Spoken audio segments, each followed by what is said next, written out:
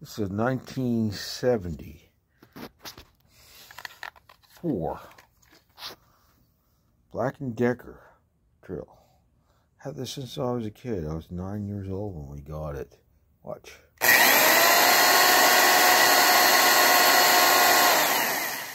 Twenty twenty four, fifty years old. Pretty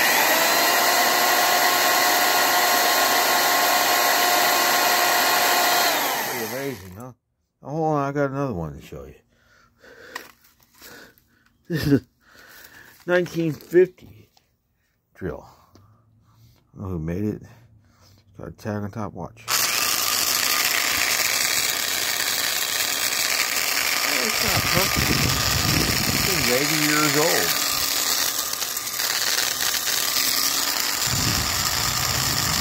It just running faster and faster. That's really good. You know, I use for to clean stuff off with.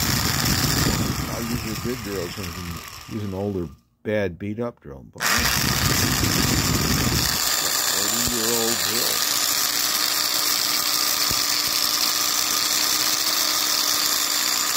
The longer you keep running, it's better it runs, huh? Enjoy one of William's favorite videos. Boy, I keep my tools nice, don't I?